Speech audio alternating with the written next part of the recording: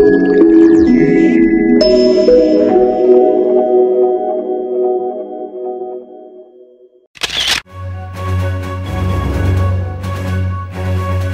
good evening, Miss Earth Crown followers.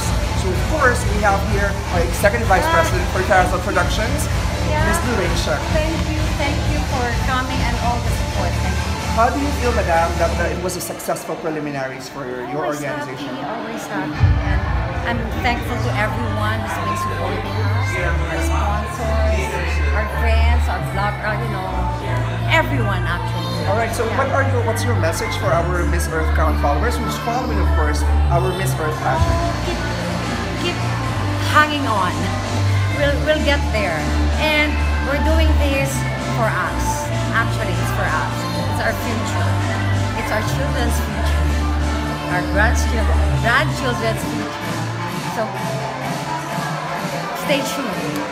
There's a lot you. of more things that will happen, a lot of exciting things. So, I'd like you to tune in, and we'll also create a series. So, please watch out for that. So, again, Miss Lorraine Schuck.